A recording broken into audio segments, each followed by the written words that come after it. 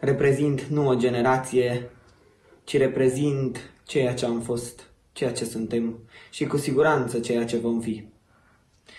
Sunt atât eu cât și toți românii de aici, abandonați și crescuți de o mamă adoptivă care are numele Ucraina. Mama, țara natală, este însă România.